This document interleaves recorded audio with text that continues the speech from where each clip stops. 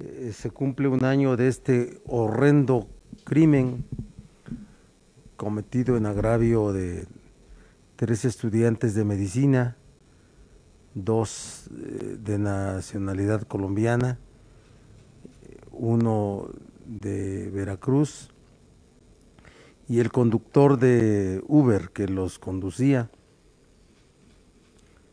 en un hecho abominable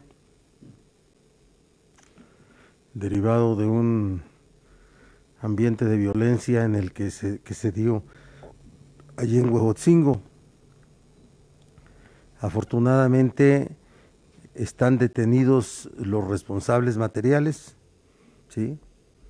tanto los ejecutores como el jefe de la banda, y están sujetos a un proceso se desarrolla en los tiempos que los procedimientos penales prevén.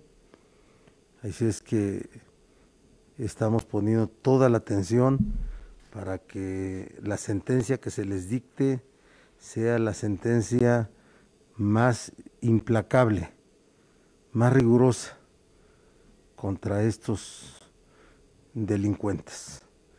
Y el exhorto a los padres de familia es, bueno, pues sí,